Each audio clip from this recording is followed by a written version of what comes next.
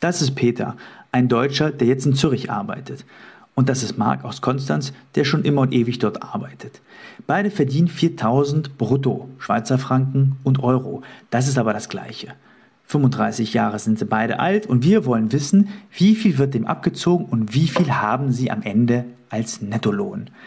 Der Peter, dem werden verschiedene Sozialabgaben abgezogen und er zahlt die sogenannte Quellensteuer, was der Lohnsteuer entspricht.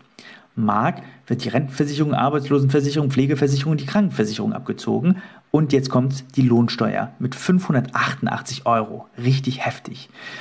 Dem Mark bleiben 2539 Euro Nettolohn übrig und dem Peter 3044 Schweizer Franken oder Euro übrig. Also, Mark mit einem sehr guten Lohn bleiben weniger übrig als Peter mit einem recht tiefen Lohn für die Schweiz. Herzlichen Glückwunsch, Peter. Aber Achtung, Achtung, bei dir sind die Kosten deutlich höher in der Schweiz. Das ist Peter, ein Deutscher, der jetzt in Zürich arbeitet.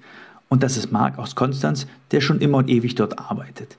Beide verdienen 4000 brutto, Schweizer Franken und Euro. Das ist aber das Gleiche. 35 Jahre sind sie beide alt und wir wollen wissen, wie viel wird dem abgezogen und wie viel haben sie am Ende als Nettolohn. Der Peter, dem werden verschiedene Sozialabgaben abgezogen und er zahlt die sogenannte Quellensteuer, was der Lohnsteuer entspricht. Mark wird die Rentenversicherung, Arbeitslosenversicherung, Pflegeversicherung und die Krankenversicherung abgezogen und jetzt kommt die Lohnsteuer mit 588 Euro. Richtig heftig. Dem Mark bleiben 2539 Euro Nettolohn übrig und dem Peter 3044 Schweizer Franken oder Euro übrig.